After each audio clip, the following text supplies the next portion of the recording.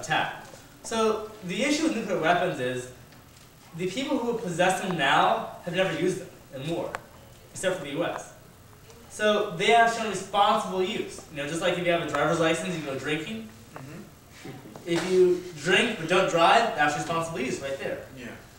The question is, Or taking care of are we so sure that other countries like Iran or North Korea will use them responsibly?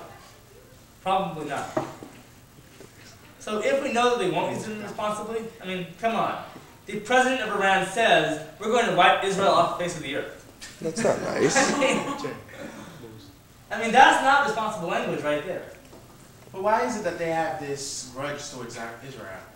Because the Middle East is filled with conspiracy theorists who say that Israel is a puppet of the U.S. and it shouldn't exist in the first place.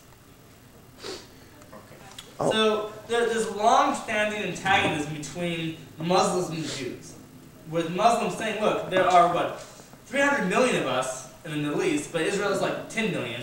Why do they keep beating us in the wars? So there's a massive emphasis on destroying Israel by Syria, by Iran, by Saudi Arabia. That's why we are defending them right now. So Like every week there's a bombing in Israel. I know, right? It's like you turn on TV, you Yeah. always see it. Oh, bombing in Israel. Another suicide. So bomber. here's the issue. We know that Iran is trying to build nuclear energy. But are they trying to also build nuclear weapons out of it? If they are trying to build nuclear weapons, how do we approach that? So the issue is diplomacy.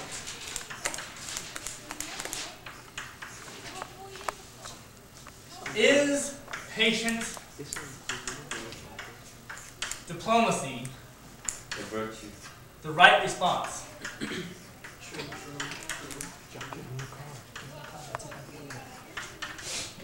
To Iran's nuclear program.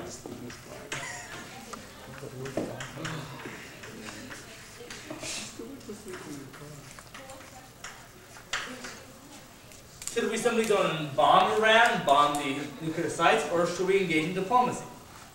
Because the, the problem is that if you do get engage in diplomacy, they may be lying to you. Saying that yes, we will get rid of the nuclear energy program, when in fact they don't.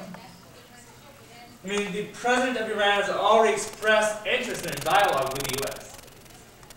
So, is Iran a threat or not? Should we trust it or not? Yes, it is. So, who wants to be on this debate? Any volunteers? Yes, sir. Okay, Larry? Yes. Yes? Okay. Okay, anyone else? I'm gonna pick. Remember, Diplomacy is just like saying, um, alright, we believe you, and that's it. well, diplomacy is negotiating with them, engaging in a dialogue, trusting them to follow on their work. I think if we trust them, they do something different than what we say, they'll know that we'll just take them out. So I don't think they wanna risk that. How about we just So in that like, case, diplomacy may work. how about we just like plant some bombs in their countries? Like if you just act up. Yeah, word. if you do it, be- there you go. There you go. Exactly.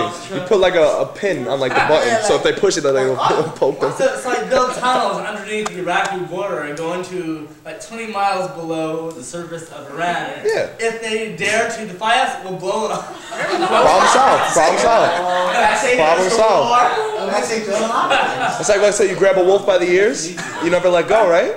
You're good. You're straight. I'm sure generals Get you on want to hear that Jeff, give me a thumbs up. Thumbs You up. said Iran is Jeff. currently a nuclear power? No, it is, it is developing a nuclear energy program. I mean, there are a lot of hawks out there who say, look, Iran does not yet have a nuclear energy program, so there's nothing to, to prevent us from attacking it. If we go in and wipe, wipe the program out, they can't stop us. I'm gonna say, I'm gonna say, yeah, I'm I'm patient for that. Oh, oh, Sam. Okay? What's that? So, um,